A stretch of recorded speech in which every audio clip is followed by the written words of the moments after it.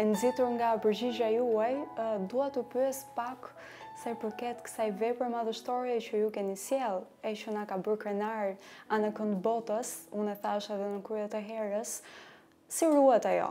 Ka kushte optimale, ne në Shqipëri në fakt na mungojnë edhe hapësirat e ekspozimit, Galeria e Arteve, Muzeu Historik Kombëtar po i nënshtrohet rikonstruksionit, të dyja institucionet po i nënshtrohen rikonstruksionit, Megjithatë dhe hapësira të tjera për të mbajtur veprën tuaj madhështore, ngase flasim për përmasa shumë të mëdha këtu, nuk ka. Si ia bëni për t'i ruajtur ato, sa i prekur jeni për këtë realitet, ngase për artistin vepra është shumë e shtrenjtë, apo jo është krijuar thellë, është një punim që shtrihet në kohë, po për më tepër është edhe diçka që buron nga shpirti, është ngjizur në shpirt Pastaj dokumentohet përmes veprës, përmes krijimit. Dhe në raport me këtë situatë, si ndiheni? Ç'po bëhet për veprën tuaj?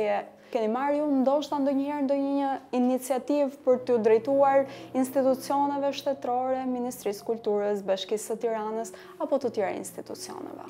Nuk di nga ta nis përgjigjen, por po e thjeshtësoj. Sepse ka Ka de jure, ka dhe de facto. Pastaj ka shpirtërore, ka dhe ligjore. Përqasja përkundrejt rekordeve që unë kam realizuar në Shqipëri, nuk ka qenë as de jure, as de facto, as shpirtërore, Dhe as ndjesore, le të themi kështu në pjesën institucionale. Unë nuk kam marrë asnjë telefon, asnjë duartrokitje institucionale. Pse edhe pse nuk flas, janë nga 2006 deri tani janë ndryshuar shumë ministra kulture. Domethënë, po t'i vësh me të listuara, janë 11 rekorde që unë kam bërë, janë janë ndryshuar rreth 10 ose 11 po kaq dhe ministra kulture.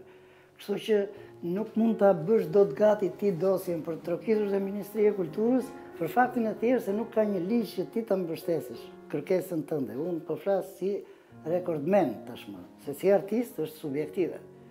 Nuk mund të thuash ti që unë jam artisti më i mirë dhe kërkoj një hapësirë për ekspozimin e veprave. Se kështu të gjithë artistët në botë dhe në Shqipëri, brenda studive tyre janë gjeni. Unë po them vetëm për rekordet. që janë unike në botë, nuk ka pas asnjë lloj interesimi, dhe pyetjes tjetër që ju bëtë, a jam, a kam trokitur, unë kam trokitur nëpërmjet medieve, që nga viti 2006 dhe deri tani. Dhe nuk e di në qoftë se janë pak, apo janë shumë, po duhet të jenë rreth një mijë artikuj, intervista etj etj në në në gjuhën shqipe. Këto kërkesa i kam bërë vetëm në Shqipëri dhe vetëm në gjuhën shqipe, nuk i kam bërë në këtë që po jua them ju, nuk e them përtej kufijve të Shqipërisë. Duhet ta kafshoj pak gjuhën për këtë, sepse duhet të mbroj Shqipërinë. Pse një pyetje bëhet përtej Shqipërisë. Sa rekorde janë në Shqipëri? 7, 8, s'janë? Okej, në rregull. Atëherë po vijmë t'i vizitojmë në Shqipëri. Dhe u them, duhet të presim dhe pak, se Shqipëria është vend i vogël dhe duhet gjetur një hapësirë se nuk kam se ti, si ta justifikoj. Për ekspozim?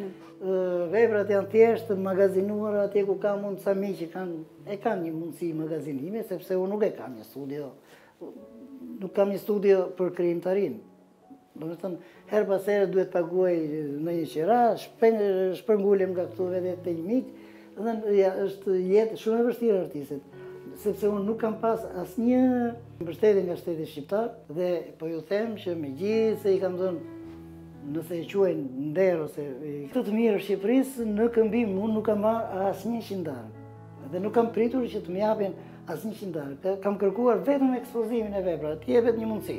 S'keni marrë asnjëherë një përgjigje mbrapsht? Sepse ta fillosh kërkesën duhet bazuar në ligjin kaq. Nuk kemi në ligj. Ne jemi akoma hibrid, e kupton? Prandaj të thashë më përpara hibrid.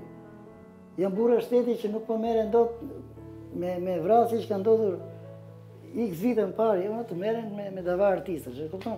Shumë mbrapa Shqipëria këtu. Nuk e di se sa do zgjasi, po Shpresoj për brezat që do vijnë, le të bëhet diçka. Këta burrat në parlament të shkruajnë ndonjë gjë për për këta artistët që po vijnë. Duhet ekspozim për artet figurative, edhe artet e tjera le të kenë mundësinë që të të të, të shpalosin talentin.